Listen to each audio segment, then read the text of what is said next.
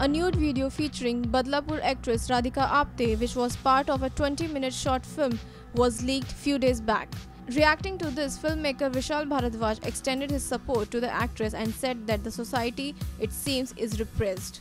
मैंने सुना उसके बारे में तो मुझे बहुत दुख है उसके लिए कि इस तरह की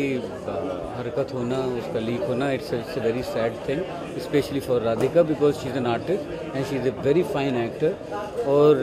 एक्टर जब एक किरदार प्ले करता है तो वो उस किरदार में होता है तो उसको इस तरीके से हम हमारी सोसाइटी थोड़ा I think we are repress sexually that's why we react Powered by NNIS.